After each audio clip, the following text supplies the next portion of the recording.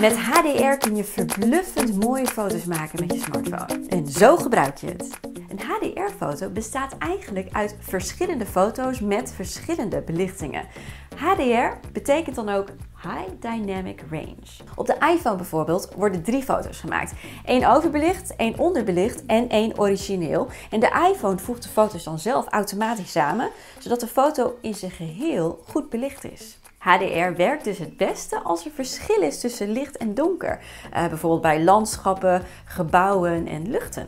Tap op schaduw of een ander donker deel om de belichting goed te krijgen.